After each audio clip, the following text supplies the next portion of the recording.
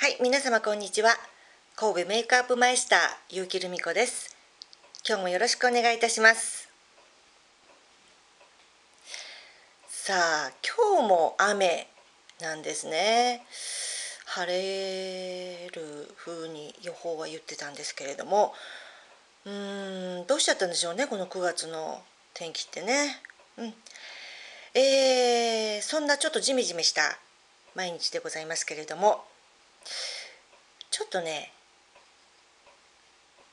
今回面白いアイデアを浮かんだのでちょっと風水シリーズをやっていきたいと思います。実は私、うん、風水アドバイザーっていうね資格も持っておりまして23年前かなすごくハマって風水の勉強させてもらったんですけれどもなぜ風水を学ぼうかなと思ったきっかけというのはやはりまあ風水って、まあ、普通お家を整えていい気を入れるっていうふうにね仮想をねよくするっていうイメージではあるんですけれども実はメイクにもとっても深い意味があるんですね。この自分の顔の中で運気を上げる化粧で運気を上げることができるんですね。さあ引用五行説。こちらの言葉聞かれたことあると思いますね。陰と陽。ね神羅万象。この世の中には表もあるわ。裏もある。上があれば下もある。ね。マイナスもあればプラスもある。陰と陽。陰と陽がなければねやはり人生楽しくないですよね。苦しいからそこから喜びも倍増するっていう陰陽。そして五行。五行。まず木ですよね。で火ですね。それから土。で金。そして水。五行ですね。5つ。こちらもなければ人間生きることができませんね。その木火土金水。この5つの中の水。この水の部分がメイクにあたる。ですね。さあ運気を良くするメイク。今日は、えー前回ね動画投稿した時にハイライトの入れ方を教えてくださいというご質問がありましたのでそちらをやっていきたいと思いますね。ハイライト。ね。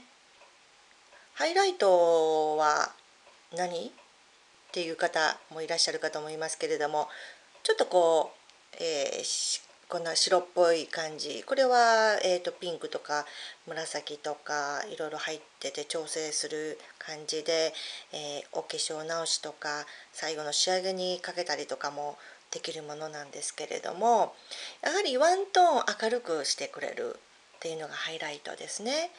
お顔は 3D ですね。これも陰と陽ありますよね。表に出てる部分もあればこういう形で影の部分もある。ただペターっとファンデーションを塗ってしまって能面みたいな感じでは面白くないお顔になってしまいますね。高いところは高く隠したいところは影にする。ね。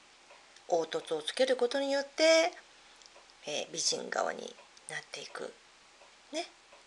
これもメイク方法の一つでもありますね。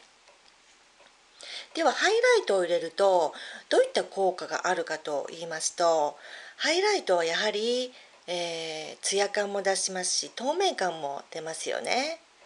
とても、えー若々しく見えると思います。はい。では入れる場所をやっていきたいと思いますね。こちらも筆ねこちらの筆も綺麗な清潔な筆ねあの使うたびにティッシュオフをして、えー常に綺麗な状態にしてあげてくださいね。こういう間にこう粉がね絡まっていますとそれも運気ダウンにつながってしまいますのでそういう細かなことも運気アップのポイントになってきますよ。はい、ではねハイライト入れていきたいと思うんですけれども毛の方にとつけていきます。まちょっとなじませてもらってこのおでこのちょっと眉の上あたりですね。ここにちょんと横に入れますね。そしてこう縦にシュッと入れますね。T ってよく聞かます聞かれませんか？T ゾーンね。T ゾーン。ただしね結構ぐーっとここの方まで入れちゃう人おられると思うんですけれども、まあ、3分の2あたりぐらいでこう止めましょう。あともうスッとねこうスッとこうなでる感じですスッと。ね。スッと力を抜くっていう感じですかね。そして2 2つ目。ここなんですね。ここ。ちょうどこめかみからえー、目の際を通って目の下シュここもまた力を抜きます。こここめかみから中にシュですね。これ2箇所目、まあ、ここチークね。乗ってますよね。そのチークの上の部分にかかる感じですね。シュ。シュ。2つ目。さあ3番目はここですね。ここにちょんちょんちょんと置いてあげてくださいね。ちょっとちょっとここくぼんでますよね。ここにちょっとね入れることによってね唇もブルンとした感じに見えてきますので。分かりましたか？T ゾーンこめかみこめかみちょん。